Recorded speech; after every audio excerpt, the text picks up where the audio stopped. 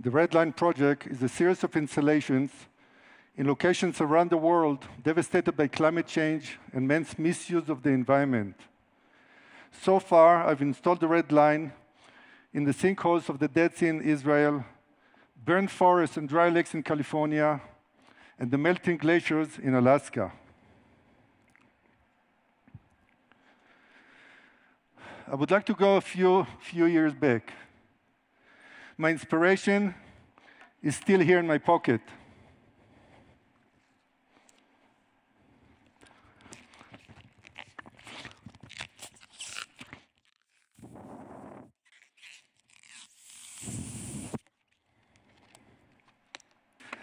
Okay.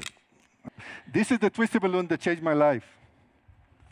As a student of design in a college in Jerusalem, I used to sell twisty balloons to make my living. Back then, in one of my trips to the beautiful Sinai Desert, I played with the balloons with the Bedouin kids. I immediately realized they were seeing the balloons for the first time in their lives. The spontaneous reaction of joy made me ask, what is it about this very simple object that is just shape, color, and air that invites this happy reaction? I found that regardless of culture and language, children of all ages respond to the balloon in the same way. I realized that the balloon is a very unique and powerful medium of, a, of international language. Don't laugh. Being an industrial designer, I developed a bigger one, which I also happen to have in my pocket. I found it. This small little one actually is a eight feet long. To inflate it, I will highly recommend you to use the Bernoulli principle. Just watch me.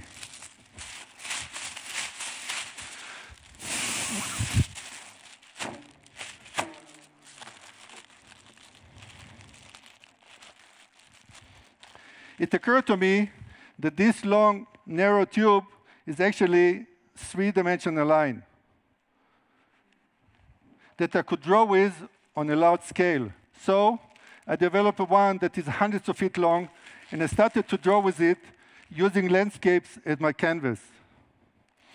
Mm.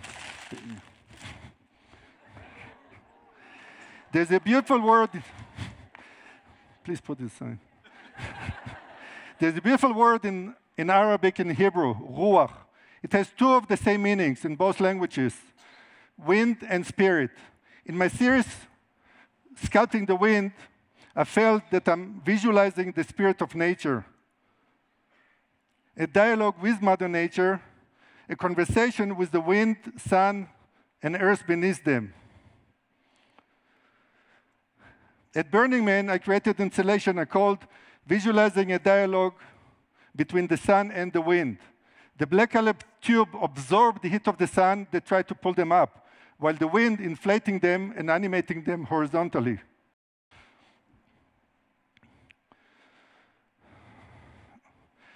I tried to defy gravity and make the tube move vertically.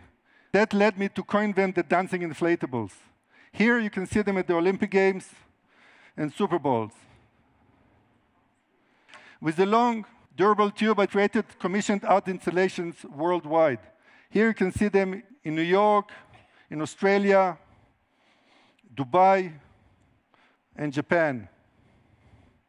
But in the last few years, I became more and more attuned to world ecological disasters. I felt that Mother Nature was bleeding before my eyes. I knew that I had to rise to action. I couldn't sit still anymore. I condensed my work down to 500 feet long red tube I chose the red color as a metaphor for a blood vein. Here you can see the red line in the sinkholes of the Dead Sea in Israel, where the water is receding by about three feet, three vertical feet every year.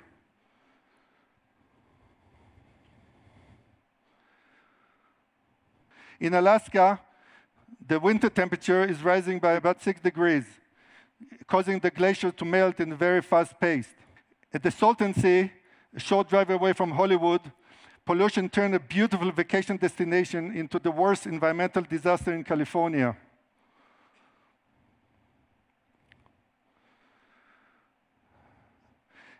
At the Great Salt Lake in, in Utah, water is receding to all-time low because of failed water management. Dry lakes, burned forests are now everywhere in California after five years of severe drought, intensified by rising temperatures.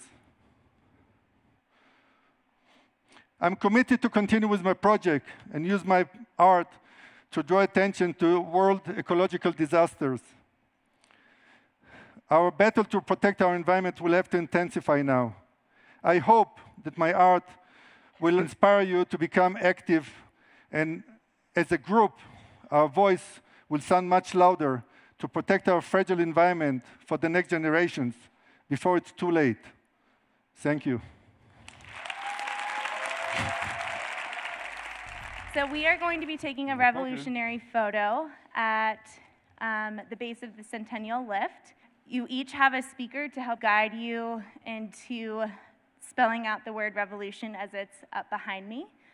So I'm going to let Doron explain how all of this will work. Each one of you, when you're going out, will get one of these wind tubes. And then, when you're going up, you need to inflate it. And actually, there are three ways to inflate it. You can run with it if you want, if you're not too lazy. or you can just move your hands up and down, or if you're lazy like I am, puff into it, but three inches away. Don't put it over your mouth. Not like this, three inches away. Bernoulli principle.